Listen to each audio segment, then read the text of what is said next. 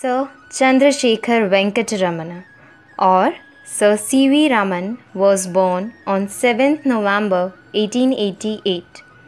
He was an Indian physicist born in the former Madras province in a village named Tiruchirappalli in India, who carried out groundbreaking work in the field of light scattering, which earned him the 1930 Nobel Prize for Physics. At an early age, Raman moved to the city of Vishakhapatnam and studied at St. Aloysius Anglo Indian High School. He was a brilliant student and passed his matriculation examination when he was just 11. At the age of 13, he passed his FA examination with a scholarship. In 1902, Sir C.V. Raman joined the Presidency College in Madras, where his father was a lecturer in mathematics and physics. In 1904, he passed his Bachelor of Science examination from the University of Madras, where he stood first and won the gold medal in physics. In 1907, he gained his Master of Science degree with the highest distinctions from the University of Madras. In 1917, Raman resigned from his government services after he was appointed the first Palit Professor of Physics at the University of Calcutta. Raman used to refer to this period as the golden era of his career. During a voyage to Europe in 1921, Raman noticed the blue color of glaciers and the Mediterranean Sea. He was motivated to discover the reason for the blue color.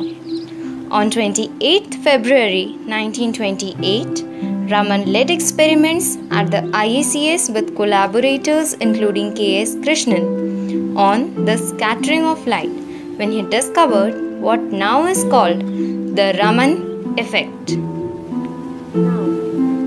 What is Raman effect? And what's the stuff in the Raman effect that made it win the Nobel Prize? When a light beam travels through a substance, the light is deflected by the molecules of the substance. It means the particles of substance absorbs photon light energy and subsequently emits light. In this process, the frequency of the absorbed light is exactly same as the frequency of the emitted light. It means the energy of the incident light is exactly same as the energy of the emitted light and there will be no loss of energy. This is what we call Rayleigh's scattering of light. But Sir C.V. Raman observed very little. 1 in 10 million particles scattered light at a slight different wavelength than the incident light wavelength. This change in wavelength of the light beam is known as the Raman effect and it forms an important part of spectroscopy. This happens due to absorption of some energy by the molecules. The Raman interaction leads to two possible outcomes. The material absorbs energy and the emitted photon has a lower energy than the absorbed photon. This outcome is labeled as Stokes-Raman scattering in honor of George Stokes who showed in 1852 that fluorescence is due to light emission at longer wavelength than the absorbed incident light. The material loses energy and the emitted photon has a higher energy than the absorbed photon. This outcome is labeled as anti-Stokes-Raman scattering.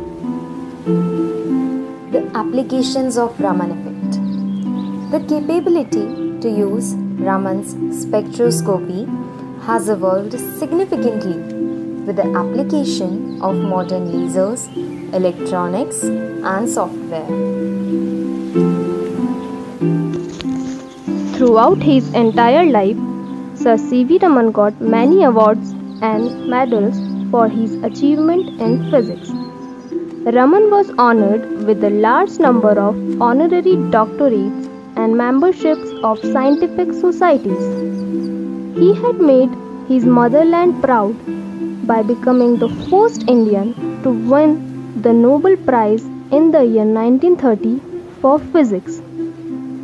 Raman was the only Indian FRS who resigned from the Fellowship of Royal Society. In the year 1941, Sir Raman was awarded the Franklin Medal. In 1954, he was awarded the Bharat Ratna Award. He was also awarded the Lenin Peace Prize in 1957. In the year 1998, the American Chemical Society and Indian Association for the Cultivation of Science recognized Raman's discovery as an international historic chemical landmark.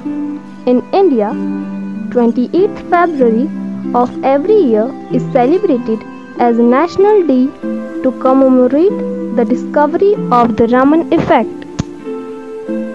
Sir C.V. Raman died at the age of 82 of heart diseases on 21st November 1970 in Bangalore, India.